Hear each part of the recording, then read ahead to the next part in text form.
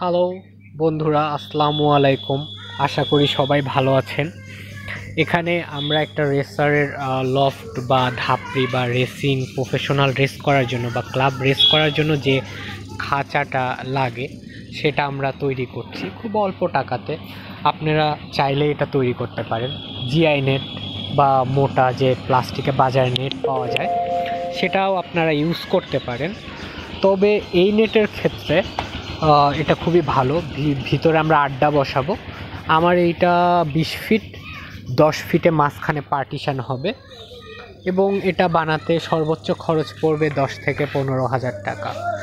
তো এখানে আমরা মাঝখানে ট্র্যাপ ডোর, নিচে ডোর সব কিছু সেট করব।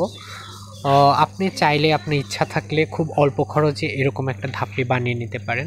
হয়তো খুব মানে স্ট্রং বা সিকিউরিটি হিসাবে অতটা স্ট্রং হবে না। তবে আমার যেহেতু সিকিউরিটি ডগ আছে, যার কারণে আমি এই ধরনের একটা ধাপড়ি বানাচ্ছি আর কি, বা রেসিং লফট বানাচ্ছি। তো আপনাদের যাদের সিকিউরিটি ব্যবস্থা আছে বা নিজস্ব ছাদ আছে, তারা খুব অল্প খরচে এরকম একটা খাঁচা বানিয়ে ফেলতে পারেন। ধন্যবাদ।